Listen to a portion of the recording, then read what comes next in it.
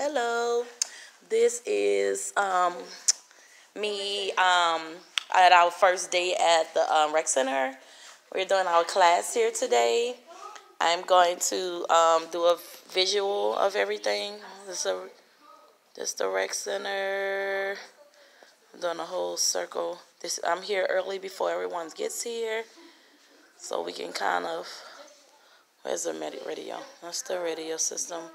Waiting for the guy to show me what all we gotta do. This is my, um, we're gonna be here now doing classes on Mondays and Sundays. I actually like the the um, building and the the room. I didn't even think about how the room looked. I just uh, just came in to um, apply for, it and I was like, oh, let me see. Um, go in here and check it in early, so it's real nice. I saw it a while ago, but I forgot how it looked. But I really like the, the uh, new space.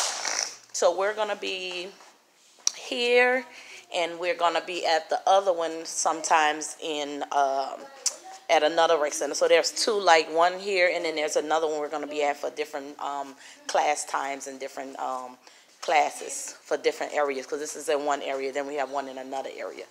So we're going to be doing that. But like I said before, we're building our travel team. We're going to be traveling around more, doing a lot of um, uh, different things. Oh, look at this! It looks like a little stage. Look at this. It's like this a little. It's like a little, a little deep, like a uh, deep cut. It's like a little stage. That's cool. See, look. It's like a little stage. Like they can do a little performance in there, a little small performance. But um, got the little plugs and everything. Lots of mirrors. Look at that. And they have the ballet pose. Ah, mm-hmm. Another, another idea.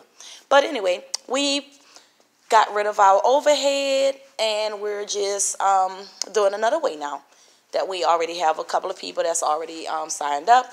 So now all we have to do is just do our performances that we have been booked for. Um, we have two this month that we have to go to a day, the day one of Friday and one of Saturday. Well, this week actually, and then we have um, what else we got? We got another one coming up after that. Then we got the Fourth of July weekend. They invited us to there too. So we're, I mean, we're busy. I mean, it's not uh, any business. It takes some years to build, and then once people find you, then it takes more time. So right now, um, we're we're in the building stage slash rebuilding because you got you know you're gonna lose people, you're gonna gain people. So it's kind of like uh, you just got to kind of go with the wind with business because that's just how it is. People don't usually keep dance when they got bills to pay and they, they don't have the money. They gonna dance is gonna be the first one out the door because people really don't value dance like like a big deal. They don't really know, so a lot of times that's the first thing to go. But uh, it's all good. But um, I just want to do that, do that post. Um, I will be um, doing some more posts throughout the um, throughout the week to add on. But um, for now, see you later.